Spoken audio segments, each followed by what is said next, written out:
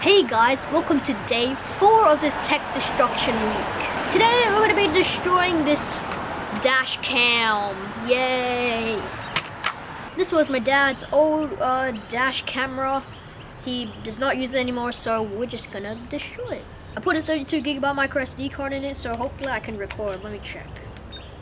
Oh, yep, it's recording. Alright, I'm gonna be using this baseball bat, and we're just gonna hit it right onto it. Alright, ready? Three, two, one. Battery came out. Oh my god, it does! Alright, we're just gonna do it like a home run with a baseball bat instead of a golf club. Fore! I can see the screen is still on, but it is very hard to clearly see.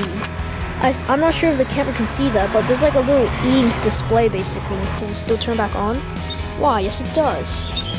Okay, yeah, the footage would definitely not. Oh, now it's recording. I want to destroy this screen. Did that crack it? Oh, yep, it definitely did.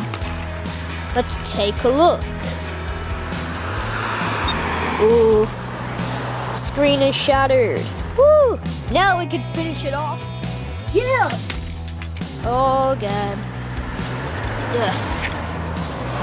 Battery didn't explode, but definitely broke it. Yeah, now we can finish destroying this thing. Let's continue breaking the screen. Wow, look at this high quality screen. Ah! Oh no, I forgot something. I forgot the SD card. Oh, it's right here. G give me it, the most valuable bit.